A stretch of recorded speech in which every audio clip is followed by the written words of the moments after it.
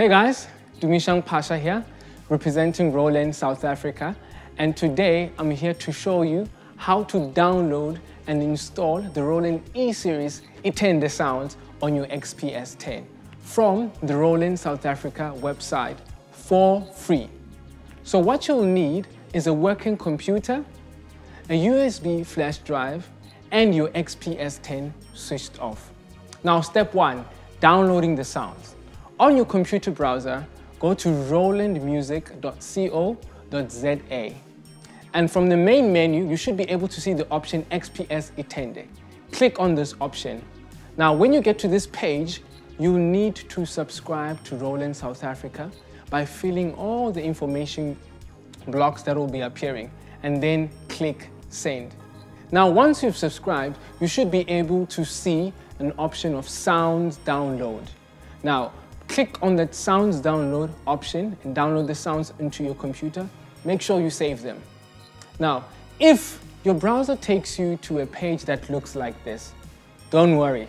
Just go straight ahead and download anyway. Step two, preparing your flash drive memory. Now make sure that your flash drive is completely empty and plug it in your XPS 10 and switch it on.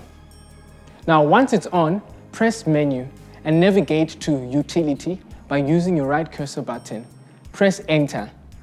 After pressing Enter, navigate to Format Flash USB Drive and then press Enter. Wait until it's done and then when it's done, remove your USB flash drive from your XPS 10. Step 3. Load the sounds. Now, you need to plug in your USB flash drive onto your computer. And then you should be able to find in it three folders, namely Roland, Import, and Song List. Now from the downloaded sounds folder, copy the XPS 10 SVD file and paste it into the backup folder, which is in your USB, which you'll find in the Roland folder, and then the XPS 10. Now you'll need to copy all the files that are in the downloaded sounds folder, song list, and paste them into the song list folder, which you'll find in your USB flash drive. Next, you need to safely remove your USB flash drive. Step 4. Installing the sounds. Now plug in your USB flash drive onto your XPS 10, which is on, and wait for like 10 seconds. Now navigate to Utility, then Restore, then press Enter.